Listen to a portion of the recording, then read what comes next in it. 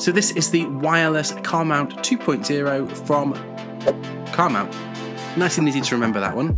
And here's what comes in the box. So we've got a wireless head, which is magnetic. There's a Type C to Type A cable. There's a suction cup base, air vent holder, a dashboard holder and a suction cup holder. I'm going to try out all of these different holders just to see which one looks best and works best for me. So here's the air vent holder over here on the right. Now I quite like this although it is a bit of a faff to get into the dashboard and the air vent on this Tesla. It would work really well if you've got a kind of car that's got those little foldable air vents. There's a suction cup holder which can go either on the window like this or it can go on the dashboard using the dashboard holder, or you've got the smaller dashboard holder which goes on this little strip. Check out which one works for you, there's plenty of options here. I actually tried this one on the windscreen and it worked really well.